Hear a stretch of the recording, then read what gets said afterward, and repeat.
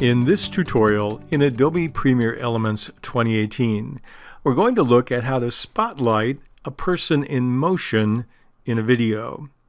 You could apply the same techniques to anything in motion or even something that's still.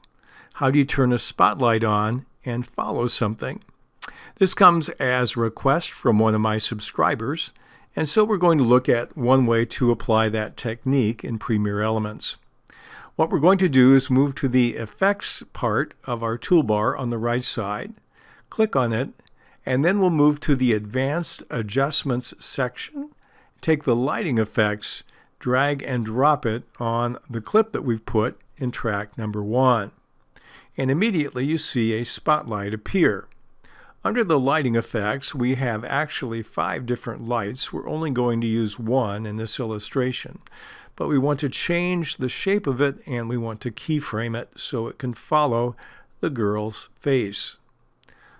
In order to turn on our keyframing controls, we click on the little clock to the left of the word fix, and that will show my keyframes. I want to start with my time indicator far on the left side. The first thing we're going to do is adjust the shape of the light. Uh, I'm going to click on light number one, and default is a spotlight. What I want to do is change that to something more round. So we're going to change the major radius and drag that back. And now it's something much more round. Something like that. Now we want to follow her with that. Let me make it even smaller. Let me go down to maybe a 7.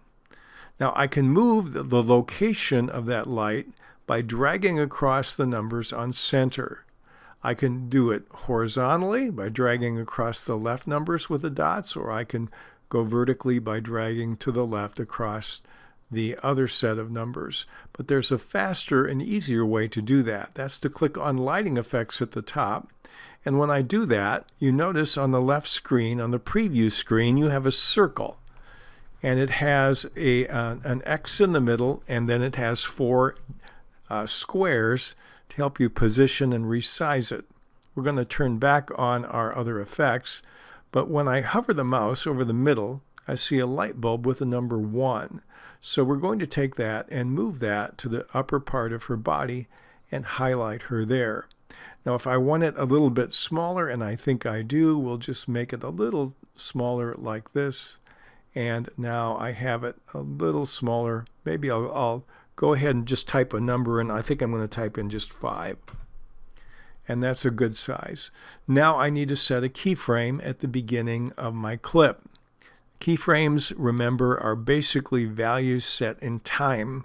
So when we start out, this is the position and all the other features. To do that, I click on the, stopwatch to the right of lighting effects, and it will set a keyframe value for everything I have here related to all my lighting effects. So they're all locked in at that frame, that moment in time, if you will.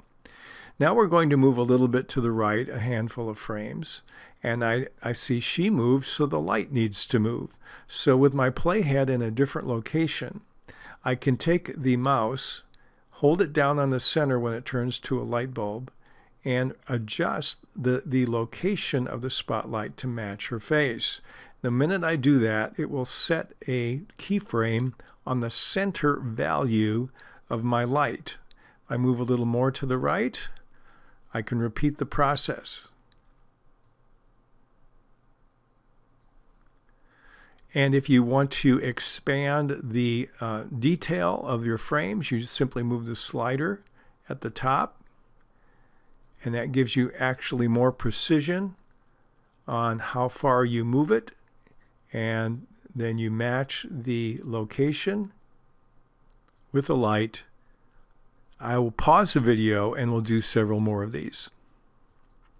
On this particular keyframe, she's a little closer to the camera, so I might want the light to be larger. If I do, I can change the major and minor radius values on the slider, or I can click on any one of the four squares uh, right by the blue circle they will turn it to an elliptical, but I can match it visually here and make it equal so they're a circle. So you can both move the location or center of your light, or you can increase the size of your light either by using the sliders or the mouse. You notice now we have two more keyframes set here to make the light slightly larger at this point. And so if I move a little bit to the right and I decide I want it closer to what it was before, I can all I need to do is move the keyframes back in a little bit, make sure I'm still working at a shape that's more circular than elliptical, and then I can move the light for that next keyframe anywhere I want. Now there's going to come a point in this particular video, if we move along, where I want the light to disappear. So how do I turn off the light? That's one question that you might have. Let's assume this is the frame where we're going to turn it off because the camera goes below her chin. I'm going to take the light for one last time and move it up here to her face. And then I'll move over a little bit. I'm go here I'm going to magnify it so we're basically just one frame away.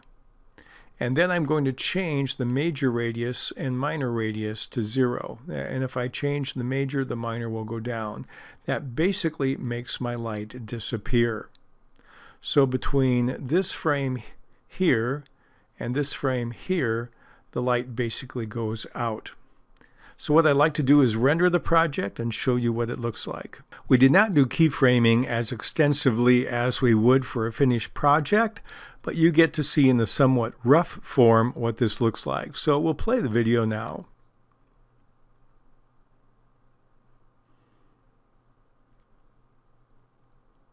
One thing I failed to mention was that if you want to change the difference between the spotlight and the rest of the video in terms of lighting, you can take this ambience intensity value, go back to the very beginning of your clip, and if you move it to the right, you'll find that the rest of the video becomes a little bit lighter.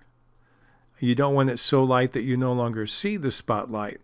But as you increase the value of this item here, ambient intensity, you're going to see the rest of the video lighten up quite a bit and become more natural.